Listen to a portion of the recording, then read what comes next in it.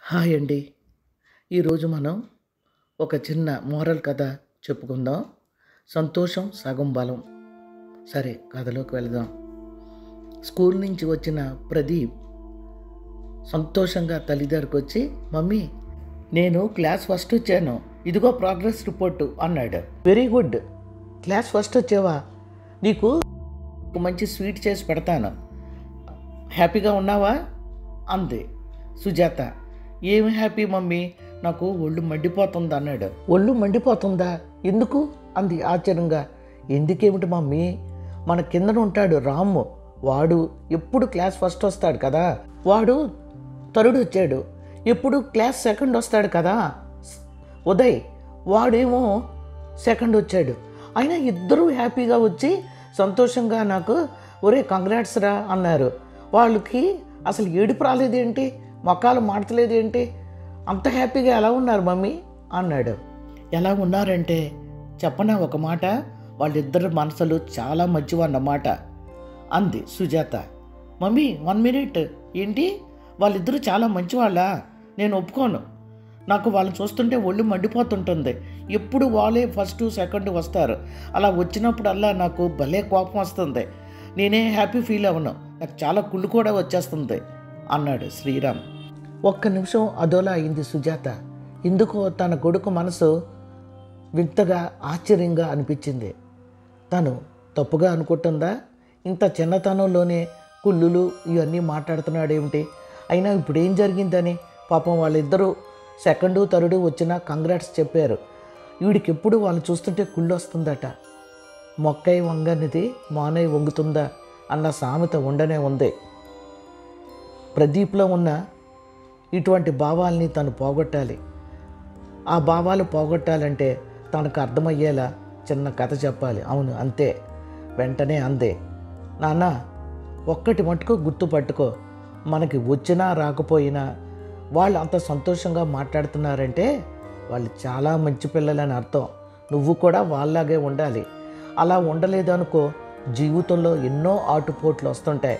అప్పుడు నువ్వు తట్టుకోలేవు. నీకు తెలుసా? సంతోషం సగం బలం అన్నారు.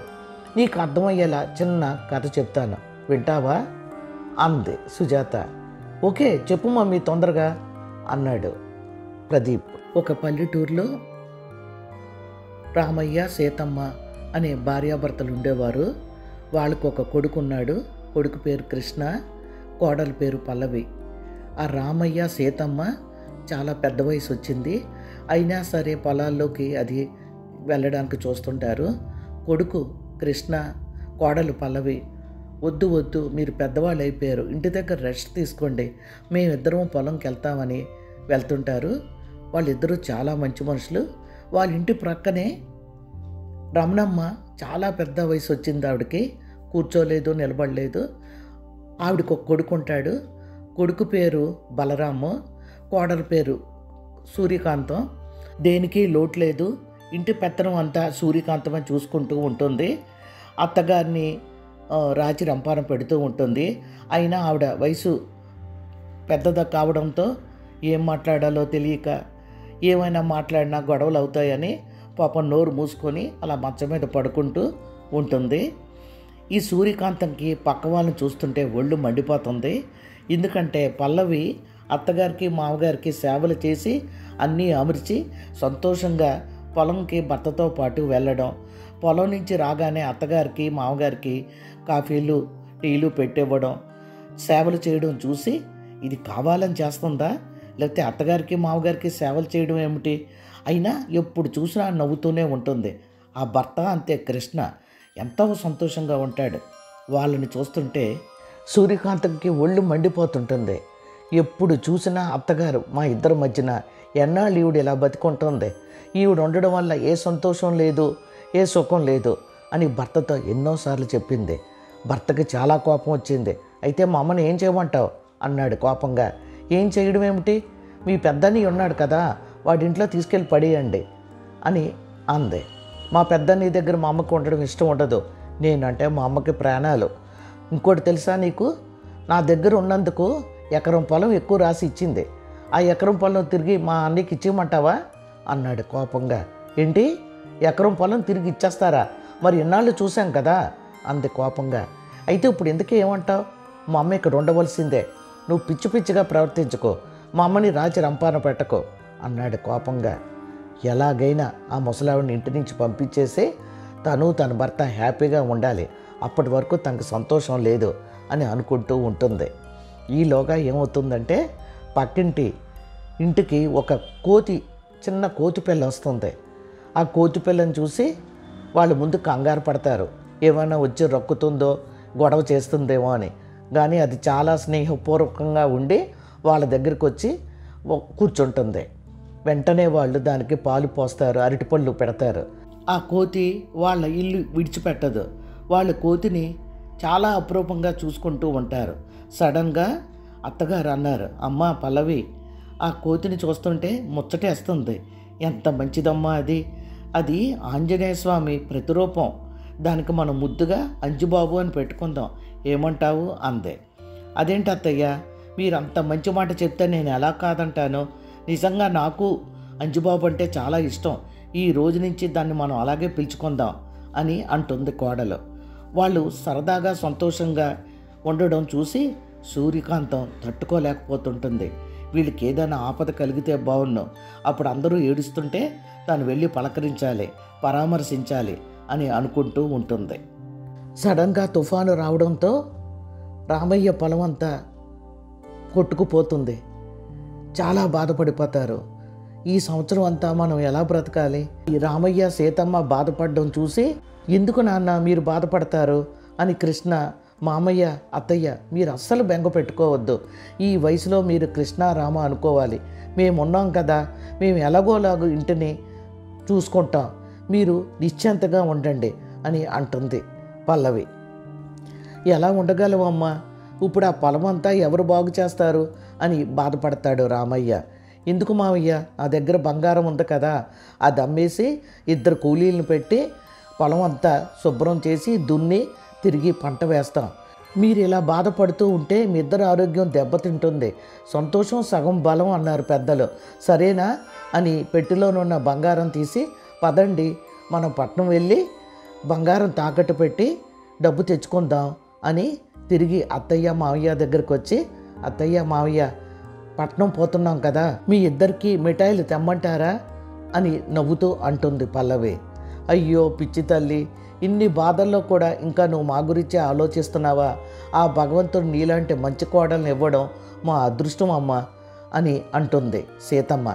అప్పుడే అక్కడికి వచ్చిన బలరాం ఆ మాటలు విని ఒక్క నిమిషం అలా నిలబడిపోతాడు. వాళ్ళని పరామర్శించాలని వచ్చాడు. కానీ వాళ్ళ ఇంట్లో ఉన్న వాతావరణం చూస్తే ఎంతో ముచ్చటేసింది. భగవంతుడు తనకి గయ్యాలి భార్య అని ఇచ్చాడు.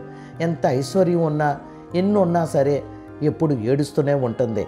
అనుకొని వాళ్ళను పలకరించి అక్కడి నుంచి భార్య దగ్గరికి వచ్చి ఆ ఇంట్లోని జరిగినదంతా చెప్పి ఆ అమ్మాయిని చూసైనా నువ్వు బుద్ధి తెచ్చుకోవే నీ కుళ్ళు బుద్ధులు మండిపోను. ఎంత మంచి పిల్ల ఆ అమ్మాయి? అని మెచ్చుకోవడం చూసి ఒళ్ళు మండిపోతుంది సూర్యకాంతంకే. సరే నేను తర్వాత తెచ్చుకుంటాను కానీ ముందు మీ అమ్మని కొద్ది రోజులు తీసుకెళ్ళి మీ అన్నయ్య దగ్గర ఉంచి రండి. రాత్రులు నిద్ర పట్టడం లేదు. మనం గదిలో పడుకున్నా ఒకటే మూలుగుతుంది. అని కోపంగా అంది. చెవిటివాడు ముందు శంఖం ఊదినట్లు దీనికి మంచి మాటలు ఎక్కవు. అనవసరం అని చెప్పి పొలానికి బయలుదేరాడు బలరాం. మోకాల బాధతో మూలుగుతూ అమ్మా కాంతం కాళ్ళు బాగా పీకుతున్నాయి తల్లి. నేను పోయాక నా ఒంటి మీద బంగారం కూడా నువ్వే తీసుకో. కాస్త కాళ్ళు నొక్కుపెట్టు తల్లి అందే. "ఆ, నొక్కుతాను నొక్కుతాను. కాళ్ళు నొక్కాలంట కాళ్ళు. పీక నొక్కమంటే నొక్కుతాను. ఏమంటారు? అంది కోపంగా. అప్పటికే అక్కడికి వచ్చిన పల్లవి ఒక్క నిమిషం ఆశ్చర్యపోయి గబగబా లోపలికి వచ్చి అక్క అలా అనకక్క పెద్దవాళ్ళు మనకి దేవుడిచ్చిన వరం. పాపం కాళ్ళు నొప్పులు అనుకుంటాను. నొక్కమంటుంది. నేను నొక్కుతానుండు. మా అత్తయ్య చెప్పింది. ఈవిడికి బాగోలేదు కాళ్ళు నొప్పులట అని. అందుకని పలకరిద్దామని వచ్చాను అని గబగబా కాళ్ళు నొక్కసాగింది. అంతా చూస్తున్న సూర్యకాంతం కోపంగా అందే. సరేలే ఇలా ఎప్పుడో ఒకప్పుడు వచ్చి నొక్కడం అంటే నేను నొక్కుదును. ఇంట్లో ఇరవై నాలుగు గంటలు కళ్ళెదుట ఉంటుంది రోజు నొక్కుతూ కూర్చోమంటావా? మీలాగ మాకు రాదు తల్లి అని కోపంగా అక్కడి నుంచి వెళ్ళిపోయింది. ఒక్క నిమిషం ఆశ్చర్యపోయింది పల్లవి. పొలం నుండి ఇంటికి వచ్చిన భర్తతో పెద్ద గొడవే పెట్టుకుంది. నాకు కొద్ది రోజులు మనశ్శాంతి కావాలి. ఎప్పుడు ఏడుస్తూ ఇంట్లో కూర్చోమంటారా? మీ అమ్మ మూలుగులు వినలేకపోతున్నాను. కనీసం ఒక నెల రోజులన్నా మీ అన్నయ్య దగ్గర ఉంచండి అని కోపంగా అరిచింది. బలరాం ఒక్క నిమిషం భార్య వైపు చూసి సరే నాకు ఒక ఎకరం పొలం ఎక్స్ట్రా రాసింది కదా మా అమ్మ ఆ పొలం ఇచ్చేస్తాను మా అన్నయ్యకి అన్నాడు కోపంగా. అదెలా ఇస్తారు? నెల రోజులు పోయాక మళ్ళా తీసుకొద్దాం. ఒక నెల రోజులు కూడా నేను సంతోషంగా ఉండకూడదా మీ అమ్మ లేకుండా? అని గట్టిగా అరిచింది. అప్పటికే మంచం మీద ఉన్న ఆవిడ బాబు నేను ఒక నెల రోజులు పెద్దోడి దగ్గరికి వెళ్తానురా అని అంది ఏడుపు గొంతుతో. లేదమ్మా నేను అన్నయ్యతో మాట్లాడాను. అక్కడ ఎవరో డాక్టర్ వచ్చాడంట. చాలా బాగా ట్రీట్మెంట్ ఇస్తున్నాడంట. అతనికి చూపెడదాం అమ్మనని అన్నయ్య కూడా అన్నాడు. రేపు పొద్దున్నే నేను తీసుకొని వెళ్తాను సరేనా? అన్నాడు బలరాం. సరే బాబు అంది అమ్మ. మన్నాడు ప్రొద్దున్నే తల్లిని తీసుకొని బలరాం ప్రయాణం అయ్యాడు ఇక అప్పటించి సూర్యకాంతం ఒకటే ఆలోచించడం మొదలెట్టింది. అమ్మయ్య ఒక పరిష్కారం వదిలిపోయింది. నెల్లాలు అందగాని అలా అలా కొద్ది నెలలు పెంచేస్తుంది. తర్వాత సంవత్సరాలు పెంచుతుంది. పొలం రాసిస్తే ఊరుకుంటుందా ఏమిటి అని తనలో అనుకొని పక్కింటి వాళ్ళని ఎలాగైనా దెబ్బతీయాలి ఎలా అని ఆలోచించసాగింది. అప్పటికే కోతి వాళ్ళ ఇంటి ముందు నుంచి గబుక్కున పరిగెత్తి వాళ్ళ ఇంట్లోకి వెళ్ళింది. అక్కడ వాళ్ళందరూ గొల్లున నవ్వడం వినిపించింది. వీళ్ళ నవ్వులు మండిపోను. ఎప్పుడు చూసినా సంతోషంగా ఉంటారు. పొలం అంతా కొట్టుకుపోయింది. బంగారం తీసుకెళ్ళి పట్నంలో తాకట్టు పెట్టారు. అయినా సంతోషంగానే ఉన్నారు. వీళ్ళు ఏడవాలి ఎలా? అని ఆలోచించింది. కబాల్న ఒక ఐడియా వచ్చింది. తప్పకుండా ఈ ఐడియా తను అమలుపరచాలి అని నిశ్చింతగా పడుకుంది. అర్ధరాత్రి అవుతుండగా గబాల్న లేచి కూర్చుంది. గబగబా పొయ్యి దగ్గరికి వెళ్ళి ఓ పెద్ద కట్టి తీసుకొని దానికి పాతగుడ్డ చుట్టూ చుట్టి కిరసనాయిలో ముంచి అగ్గిపెట్టెతో వెలిగించింది. ఆ కట్టె మండడం మొదలుపెట్టింది. అర్ధరాత్రి ఆ కట్టెతో బయటకు వచ్చింది చుట్టూ చూసింది అందరూ మంచి నిద్రలో ఉన్నారు. మండుతున్న ఈ కట్టెను గుడిసె మీదకి విసిరేస్తే గుడిసంతా తగలడిపోయి వీళ్ళు రోడ్డు మీదకి కట్టు బట్టలతో వస్తారు. అప్పుడు ఎలా సంతోషంగా ఉంటారో నేను చూస్తాను అని తన ఇంటిలోకి వెళ్ళి తలుపు గడియ పెట్టి చక్కగా పడుకుంది. సమయం దొర్లుతుంది. సడన్గా పైనుంచి ఏదో మీద పడినట్లు అనిపించి కంగారుగా చూసింది. మంట అంటుకున్న కట్టెలు కిందన పడుతున్నాయి. పైనుంచి ఒకటే మంటలు అమ్మో అమ్మో నా ఇల్లు తగలబడిపోతుంది ఏమిటి అని కంగారుగా పైన అంతా చూసింది. అన్ని చోట్ల మంటలు అంటుకొని పైనుంచి కట్టెలు పడుతున్నాయి. అమ్మో అమ్మో అని పెద్ద అరుపులు అరుస్తూ బయటికి రావడానికి ఎంత ప్రయత్నించినా ఆ మంటల్లోంచి బయటికి రాలేకపోయింది. పెద్ద పెద్ద అరుపులు అర అరవసాగింది. అప్పటికే పక్కింటి వాళ్ళు లేచి వచ్చి సూర్యకాంతం కంగారు పడుకో కంగారు పడుకో అగో మా ఆయన వస్తున్నాడు నేను రక్షిస్తాడు నువ్వేం భయపడకో అని చెప్పి పల్లవి అనడం కృష్ణ మంటల్లోంచి తన దగ్గరికి రావడం చూసి షాక్ అయింది సూర్యకాంతం. మంటలకు తెగించి తను ఎలాగోలాగో కష్టపడి తన దగ్గరికి వస్తున్న కృష్ణ వైపు కళ్ళు తెల్లబెట్టి చూడసాగింది సూర్యకాంతం. ఏమండి జాగ్రత్త. సూర్యకాంతాన్ని తీసుకొస్తున్నప్పుడు తన మీద ఏమన్నా పడతాయేమో చూసుకొని తీసుకురండి పాపం ఆవిడ. అని బయట నుంచే గట్టిగా అరుస్తుంది పల్లవి. ఎలాగైతేనే సూర్యకాంతాన్ని తీసుకొని మంటల్లోంచి బయటకు వచ్చాడు కృష్ణ. వీళ్ళిద్దరూ బయటికి రాగానే సూర్యకాంతం ఇల్లంతా కుప్ప కూలిపోయి మంటల్లో ఆహుతి అయిపోయింది అప్పటికే అక్కడ దూరంగా నిలబడి చూస్తున్న అంజుబాబు ఒకటే తనలో తను నవ్వుకోసాగింది. ఏంటి? మా మా గుడిసిని తగలబెట్టబోతావా? నేనుండగా అవుతుంది అనుకున్నావా అందుకే నువ్వు విసిరిన కత్తెను నీ ఇంటి మీదకే విసిరాను. మంచి పని అయింది. ఎంత మంచి మనుషులు మా వాళ్ళు. నిన్న ఆ మంటలో వదిలేయాలి. చచా అని కోపంగా తనలో అనుకుంది అంజుబాబు. అప్పటికే సూర్యకాంతాన్ని తీసుకొని బయటకు వచ్చాడు కృష్ణ. గబాలను వెళ్ళి మంచినీళ్ళు తెచ్చి సూర్యకాంతాన్ని తాగమని ఇచ్చింది పల్లవి. అందరూ కంగారుగా సూర్యకాంతం ఇంటివైపు చూశారు. అప్పటికే ఇల్లంతా కాలిపోయి కిందకి ఒరిగిపోయింది. అయ్యో అయ్యో మా ఇల్లు అందులో నగలు అందులో డబ్బు అని గొల్లున ఏడవసాగింది సూర్యకాంతం. అమ్మా ఈ రోజు కాకపోయినా రేపైనా డబ్బులు సంపాదించుకోవచ్చు. రేపైనా ఇల్లు కట్టుకోవచ్చు. ప్రాణాలతో బయటపడ్డావు. పాపం మీ ఆయన. నువ్వేమైనా అయిపోయావు అనుకో ఎలా బ్రతకగలడు? బాధపడకమ్మా. ఈ రోజు కాపోయినా రేపు సంపాదించుకోవచ్చు. అని ఊరుకోబెట్టసాగింది సీతమ్మ. సూర్యకాంతం రా వచ్చి మా ఇంట్లో పడుకో. అన్నట్లు ఏమైనా ఆకలేస్తుందా? అన్నం కూర ఉంది. తింటావా? చెప్పు అందే.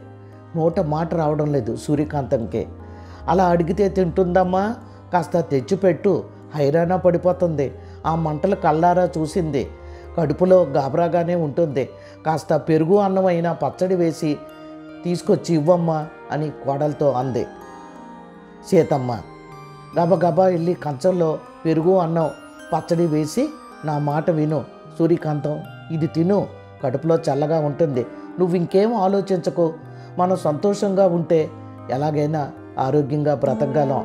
మనం ఇలా బాధపడుతూ ఉంటే ఆరోగ్యం దెబ్బతింటుంది. నా మాట విని సూర్యకాంతం అంతే పల్లవి. గబాల్న పల్లవి చేతులు రెండు పట్టుకొని కొల్లున ఏడ్చింది సూర్యకాంతం. తన మనసులో బాధ బయటకు చెప్తే చీకొడతారు అందరూ. ఇలా ఏడవడం తప్ప తాను ఈ పరిస్థితిలో ఏమీ చేయలేదు. తన భర్త అన్నట్లు తను చాలా చెడ్డ మనిషే.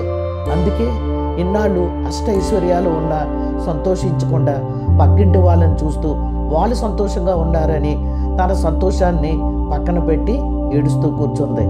బాగా బుద్ధి చెప్పాడు భగవంతుడు అని తిరిగి పల్లవి చేతులు గట్టిగా పట్టుకొని బావురు మంది సూర్యకాంతం. విన్నావా ప్రదీప్? ఈవిడికి ఎంతో ఆస్తి ఉంది బంగారం ఉంది నగలు ఉన్నాయి ఇంటి నిండా సామాన్లు ఉన్నాయి. కానీ ఎప్పుడూ సంతోషంగా లేదు. తనకున్న అష్టైశ్వర్యాలు సూర్యకాంతాన్ని సంతోషంగా ఉంచలేకపోయే కారణం సూర్యకాంతానికి కుళ్ళు ఎక్కువ.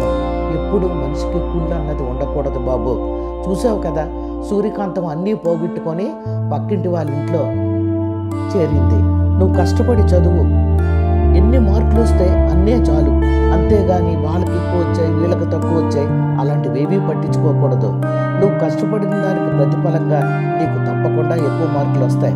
జీవితంలో ఎన్నో ఆటుపోట్లు ఉంటాయి నువ్వు ఇంకా బోలుడు చదవాలి పెద్ద పెద్ద చదువులు చదవాలి ర్యాంకులు తెచ్చుకోవాలి ఉద్యోగం చేయాలి. వీటన్నిటికీ కావలసింది నీ మనసు నిర్మలంగా పవిత్రంగా మంచిగా ఉంచుకోవడం. కుళ్ళన్న దానికి తోవ ఇవ్వకూడదు. అర్థమైందా నాన్న? అలా ఉన్నప్పుడే నువ్వు అనుకున్నది సాధించగలవు. నువ్వు డాక్టర్ కావాలన్నా ఇంజనీర్ కావాలన్నా పోలీస్ ఆఫీసర్ కావాలన్నా ఏదైనా సరే నీ కష్టం మీద ఆధారపడి ఉంటుంది కానీ వాళ్ళ గురించి వీళ్ళ గురించి ఆలోచించి నీ టైం పాడు చేసుకోకూడదు. నీకు అర్థమైందని అనుకుంటాను. చెప్పు బాబు.